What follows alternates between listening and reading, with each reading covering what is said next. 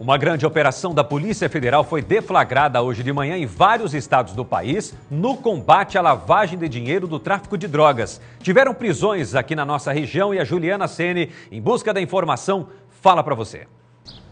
Nessa grande operação deflagrada hoje cedo pela Polícia Federal, foram cumpridos 149 mandados de busca e apreensão e 66 mandados de prisão.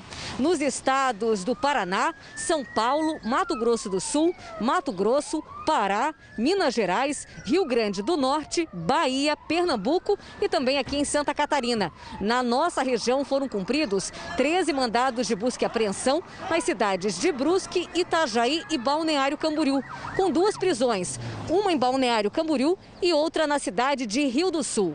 A Operação Enterprise, deflagrada pela Polícia Federal e Receita Federal, está sendo chamada de a maior operação nacional de combate à lavagem de dinheiro do tráfico de drogas e também uma das maiores na apreensão de cocaína nos portos brasileiros. Foram sequestrados 400 milhões de reais de bens que vieram do narcotráfico, desde imóveis de alto padrão, veículos de luxo e até aeronaves. Os beneficiários eram pessoas ligadas a uma organização criminosa e especializada no envio de cocaína para a Europa. Foram inclusive apreendidas 50 toneladas dessa droga nos portos do Brasil, África e Europa, num esquema de tráfico internacional que resultava na ocultação dos bens desse tráfico de drogas. O esquema envolvia quantias milionárias, empresas de fachada e pessoas, os chamados laranjas.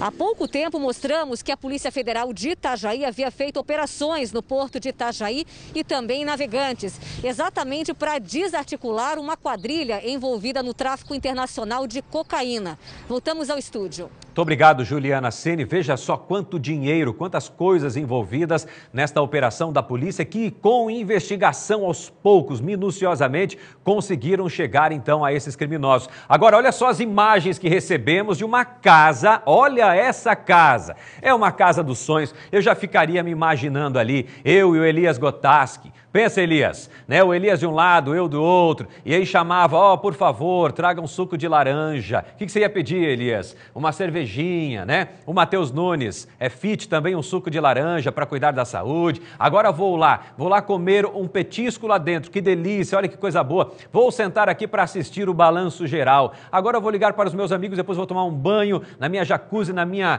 no, no meu banheiro. Olha, agora vou descansar um pouco nesse quarto. Gente, tudo isso, tudo isso que você está vendo aí, fruto do tráfico de drogas. Sabe qual, quanto vale essa casa que está avaliada lá na Espanha, essa casa, hein? 2 milhões de euros. Você que é bom do euro aí, quanto que daria convertidos hoje, Matheus?